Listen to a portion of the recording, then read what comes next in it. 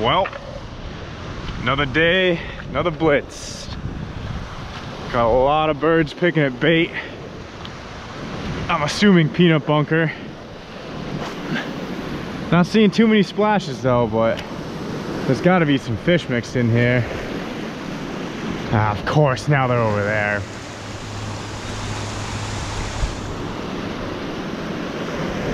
Gotta move down.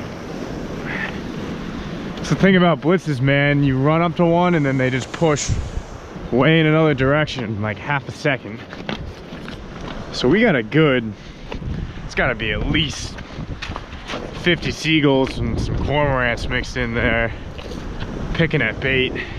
There's gotta be some striped bass action mixed in with all this activity.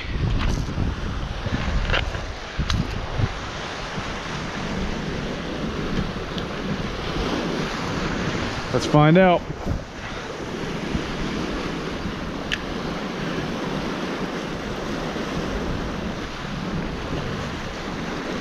Oh, there we go. I knew there had to be fish mixed in here. Let's see what we got. Another micro striper perhaps. That's what it's looking like. The old Jonny specialty lately. A little guy. Sweet. Awesome. Fun. Well, we know there's fish around, just not uh not big ones.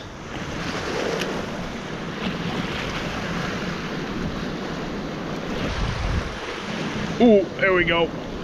There's a fish.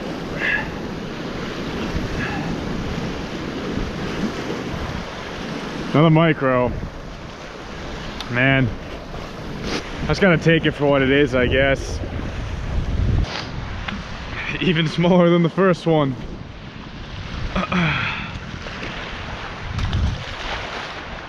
See you, buddy. Well, I've already given my opinion in my last video about the overall success of this fishing season. Uh, mainly just talking about daytime fishing and blitz fishing. And uh, let's just say, this time of year in October, I don't know, three or four years ago, these same types of blitzes I was finding in the same spot, the same bait, were all filled with keepers and good fish up to 40 inches. And this season, especially these last two weeks, have just been all schoolies. And uh, especially these last two weeks, it's been 10 to 12 inch fish. Oh, speaking of which, just hooked up again. And I don't know if it's, uh, I don't know what it is. It just could just be, who knows, could be a lot of things. Am I saying the fishery's down? I don't know.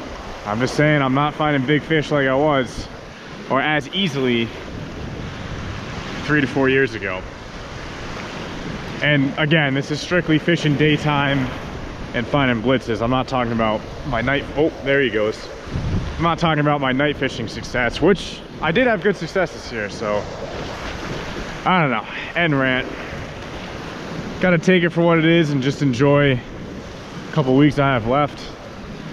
It's pretty soon these fish are all gonna be gone, man. Oh, got him. Ah, and I lost them. I also have a really bad hook ratio with these tiny fish. So, that's another thing to complain about.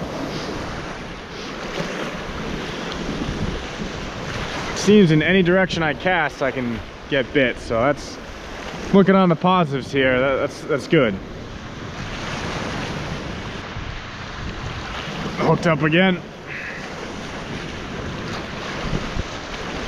Feels a little more feisty.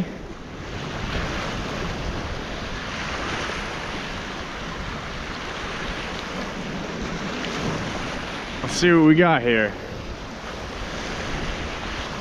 That is Dink City, baby. Dink City.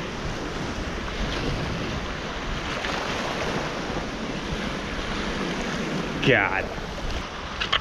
We got another foot long. And away he goes.